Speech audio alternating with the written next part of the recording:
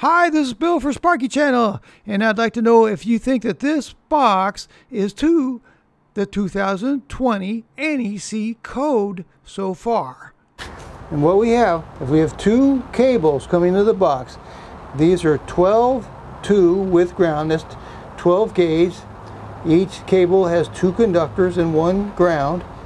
So we got two 12 2 with grounds coming into the box. They're not connected and they're both coming into the same hole. See, we got two cables coming into the same hole. They're they're loose. They're not connected.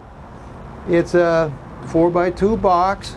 And underneath the box, I've made marks at 8 inches.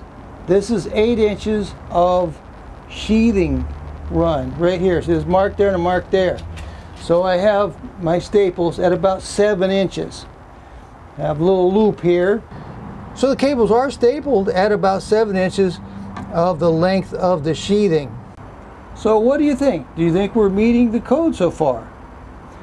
Let's go check it out. Here we are at the 2020 NEC Article 314.17 Conductors entering boxes, conduit bodies, or fittings. And we're going to go down to B. So here we are at B2 Conductors entering through cable clamps. Where cable assemblies with non metallic sheaths are used, the sheath shall extend not less than 6 millimeters or a quarter of an inch inside the box and beyond any cable clamp. So our sheaths were extended about uh, three quarters of an inch into the box, so we're good there. And here, we, here is an exception though, this does pertain to us. Where non metallic sheath cable is used with single gang non metallic boxes not larger than 57 millimeters by 100 millimeters, which is two and a quarter by four inches. That's what we're using.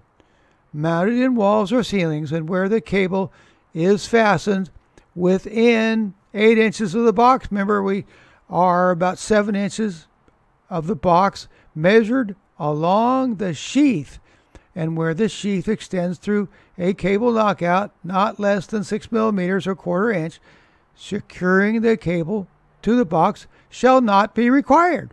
So there's an answer to one of our questions. You don't have to secure it. And it says multiple cable entries shall be permitted in a single cable knockout opening. So there's the other answer to the second question. Say yes, multiple cable entries shall be permitted in a single cable knockout opening.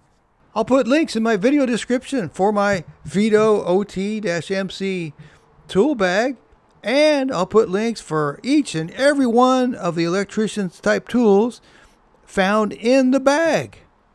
Thanks. I hope this video was helpful.